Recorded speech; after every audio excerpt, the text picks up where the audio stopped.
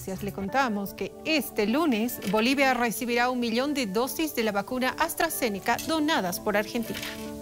Mañana vamos a recibir un millón de dosis de AstraZeneca. Este millón de dosis son donadas por el gobierno de Argentina.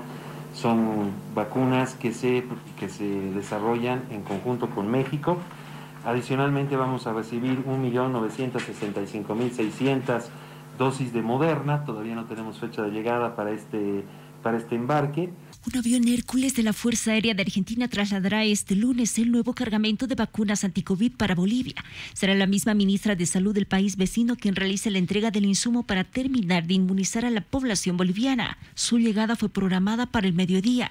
Más llegadas de vacunas se sumarán hasta fin de año, informó el viceministro de Comercio Exterior.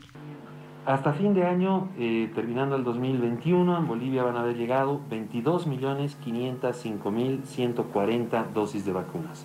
Esto es suficiente para el 100% de la nueva población vacunable, es decir, para los 10.28 millones de bolivianas y bolivianos que eh, tienen más de 5 años, además de tener las dosis necesarias para reforzar la vacunación con la tercera dosis para las personas que, así lo, desean o que así lo están eh, realizando. De acuerdo a la autoridad, el millón de vacunas AstraZeneca serán para aplicar la tercera dosis de refuerzo. Se gestiona además la compra de medicamentos para el tratamiento de la enfermedad mortal, señaló la autoridad.